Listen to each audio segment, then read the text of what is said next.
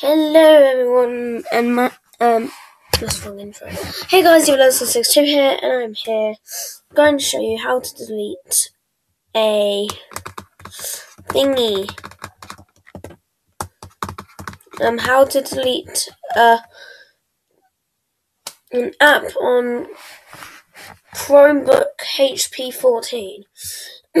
so, if you don't want an app, um, you can um, you can just go onto the Chrome Web Store where you just go onto this icon down here and go on Web Store. Then you click on that, but I'm already on it, and then search up what you want to delete. And go like that. Wait, I've done this completely wrong.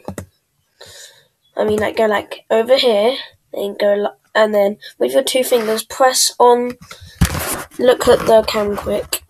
Press on the thing here with both two fingers at the same time, like this, and then it'll say new tab, pin shelf, open as regular tab, open as pin tab, open as window, open as maximize, remove from Chrome, and app info. Options is not available. Um, but what you want to press is this remove from Chrome. So you just press that and then press remove again. You have removed it from Chrome. Then if you want to get it back, you just go back onto the app and press 3 again and then add.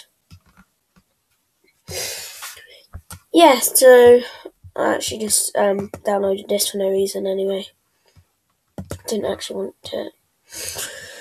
Yeah, so um, d- d- d- don't know what that is. Um, yeah, so thanks for watching. Delete Snagit, whatever that is. No, delete it. Yeah, thanks for watching, and I'll see you guys in the next video. Bye!